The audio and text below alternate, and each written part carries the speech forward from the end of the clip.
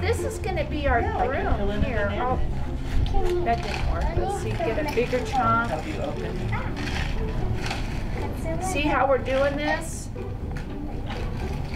See how cool that is? Look at it! Got a broom!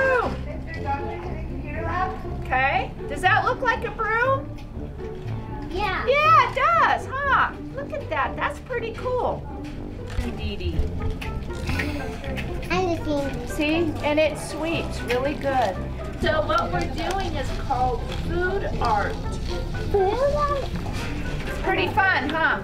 Is it good? Very fun. Boys and girls, is this a good nutritious snack?